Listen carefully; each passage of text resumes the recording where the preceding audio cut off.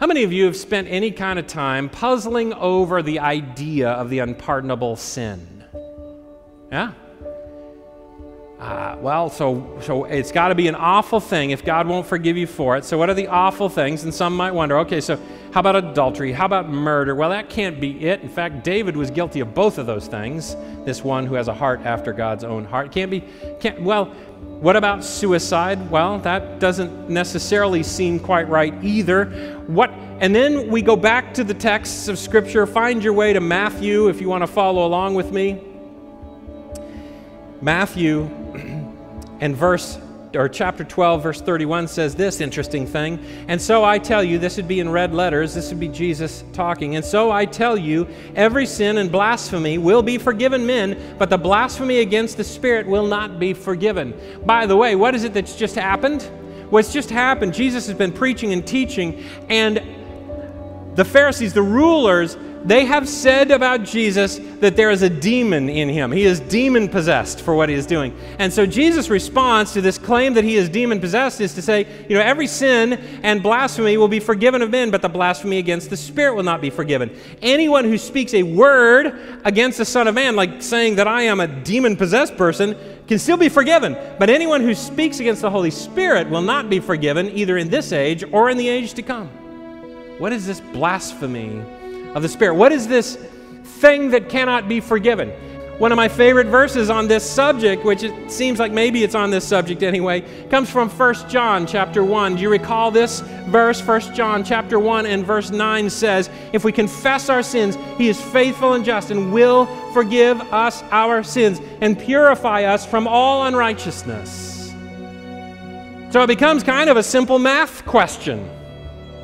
If God is faithful to forgive us of anything we would confess, and there is something that He will not forgive us of. It must then, therefore, be what? Something we would not confess. And we begin to wonder is it possible that there is some relational space, something happening with God that we could break down in such a way that we could get to the point that we wouldn't confess?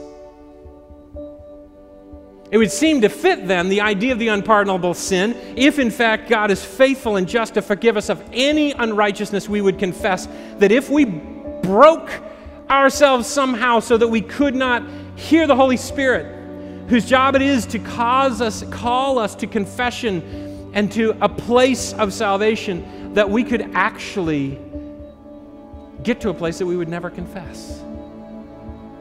And what is it that does that? Wonder if the almost could do that. Someone in this room has heard about the saving grace of Jesus Christ and you have felt the pull, but you've thought, you know what, let me study longer, let me think a little harder, let me talk about that later.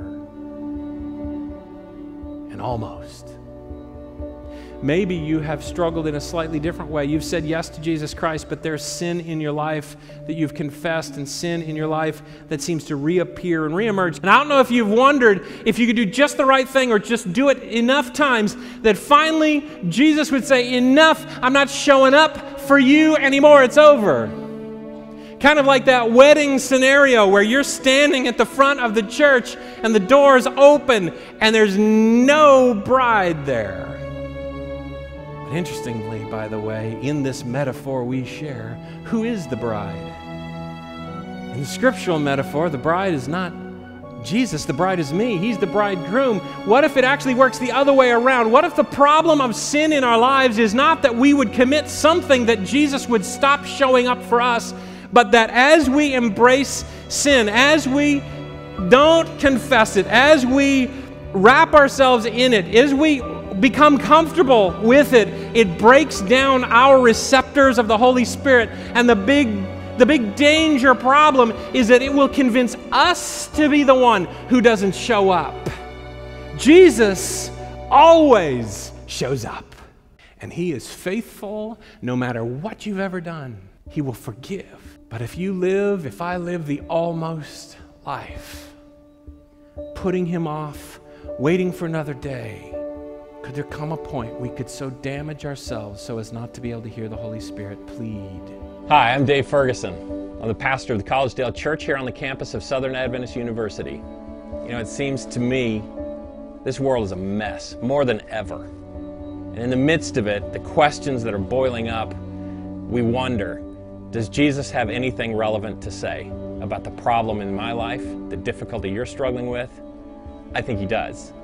And I'd like to welcome you to subscribe to this YouTube channel as we explore the relevance of Jesus Christ in the everyday life of you and me. So subscribe, click the button.